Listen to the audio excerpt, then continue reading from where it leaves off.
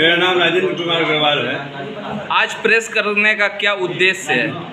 आज आप सभी प्रेस वालों को इसलिए बुलाया गया है कि ये जो हमारे देश में इस समय लोकसभा का चुनाव चल रहा है यह इसमें मैं एक उम्मीदवार हूँ घोसी लोकसभा से और मैं यह चाहता हूँ पूरे देश में जाति धर्म के आधार पर जो चुनाव हो रहा है उसका खत्म होना चाहिए। मैं किसी पार्टी का मेंबर नहीं हूँ मैं अपने विचारों पर चलता हूँ जिसमें स्वच्छ विचार और सबके लिए समता मूलक समाज बने इसके लिए मैं किसी पार्टी में नहीं हूँ।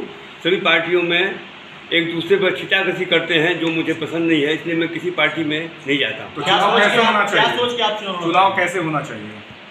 चुनाव इस देश का हर नागरिक लड़ सकता है और इस देश की सेवा कर सकता है। उसका अधिकार है उसका कर्तव्य है इसलिए मैं कर रहा हूँ।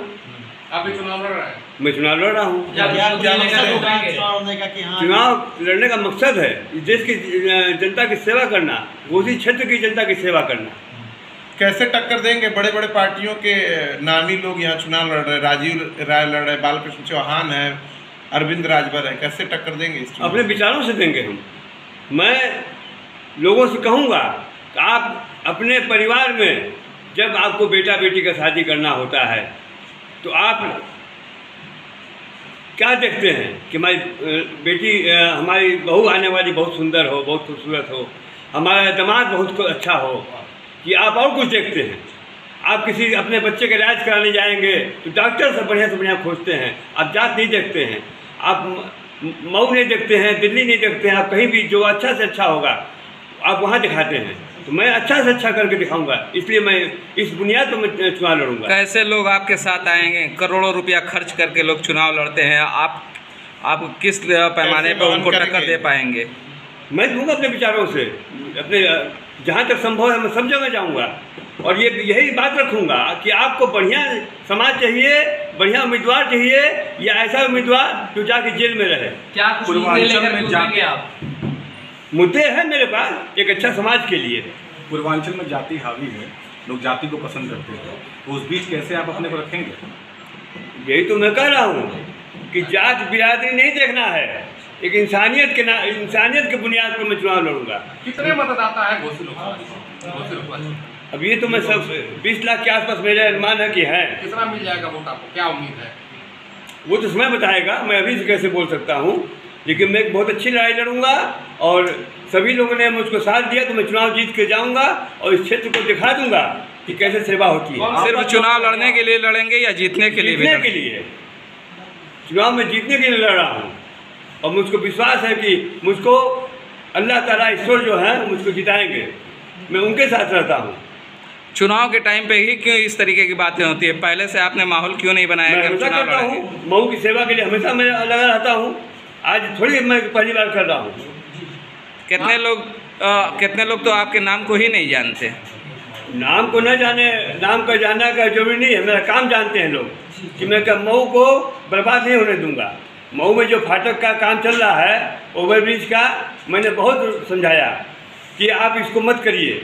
अंडरपास बना करके एक हम समस्या का समाधान कर सकते हैं। लेकिन ये लोकतंत्र इसलिए खतरे में है कि उन्होंने किसी किसी ने मुझसे बात नहीं किया। बार बार दरखास्त देते थे हम लोग वो सब पूरे डाल में चली जाती थी। आपकी चिट्ठियाँ आपकी दरखास्त पूरे दान में जाने के लिए नहीं है। आपको सुनना पड़ेगा। इसलिए मेरा ये मुख्य मुद्दा यही कि आप सुना क्यों आपने सुना क्यों नहीं? आज मऊ की जनता पर इतना बड़ा ओवरब्रिज आप लाने जा रहे हैं। जो मऊ की जनता करा रही है उससे सब लोग खुश नहीं है तो कुछ लोग तो अच्छा जब कोई आपके दिल के आ, आपके दिल को ठेस पहुँचा कि उन्होंने आपकी बात नहीं सुनी। इसलिए आप चुनाव लड़ रहे हैं नहीं इसलिए नहीं इस, वो तो है ही है। मऊ को बर्बाद नहीं होने देंगे हम। देखिए चार जून को आप सांसद बन जाते हैं तो सबसे पहला काम क्या होगा?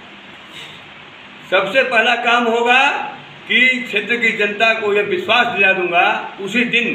कि अब आपके साथ में हमेशा आप ही के लिए मुझको जीना है आपके हर काम के लिए मैं तैयार तो सब कहता है ये तो सभी प्रत्याशी सब हैं। आदमी क्या कर सकता है इसलिए तो सांसद बन जाते हैं चार जून को आप तो क्या जो रेलवे फाटक ओवरब्रिज बन रहा है उस अंडर पास करो हाँ वो तो पक्का है। रुकवाएँगे? वो तो बिल्कुल हो जाएगा। अच्छा कोर्ट से डायरेक्शन भी हुआ उसमें पीआईएल के ज़रिए गया है तो मतलब कोर्ट के डायरेक्शन को भी आप चैलेंज करेंगे? कोर्ट का डायरेक्शन ये नहीं हुआ था कि आप ओवरब्रिज ही बनाइए।